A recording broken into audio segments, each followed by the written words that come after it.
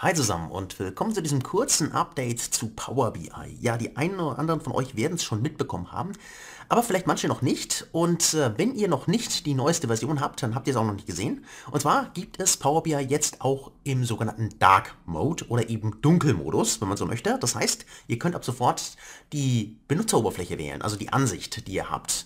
Standardmäßig ist es immer noch dieses helle, also mit den Grautönen hier. Allerdings können wir jetzt eben über Datei entsprechend dann in den Optionen Einstellungen, in den Optionen hier drin, jetzt den neuen Modus auswählen. Und das finden wir unter Berichtseinstellungen hier drin. Da müsst ihr reingehen und wenn ihr nach unten scrollt, habt ihr hier die Möglichkeit eben das Design, also den Modus der Ansicht auszuwählen. Ja, und Standard ist jetzt hier gerade aktiviert, das ist eben dieses graue. Dann hier gibt es eben dunkel, hell, wobei hell eigentlich Standard ist und eben Systemeinstellungen. Ja, wenn ihr das anklickt, ist es halt wie bei eurem System, ne, wie das hinterlegt ist.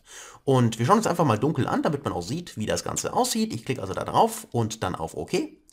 Und auf einmal habe ich alles hier eben in dunkel. Ja, also das ist der Dunkelmodus oder eben Dark Mode, wenn man so möchte vom Design her.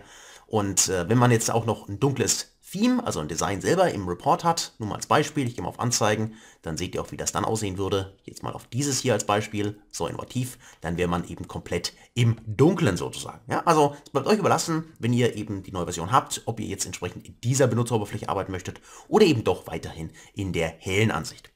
Gut, das war's für das Video. Also schreibt gerne mal in die Kommentare, wie ihr dazu steht. Seid ihr eher im Team Dunkel oder seid ihr im Team Hell? Ansonsten wie immer, vielen Dank fürs Zuschauen und dann sehen wir uns im nächsten Video wieder. Bis dahin, alles Gute.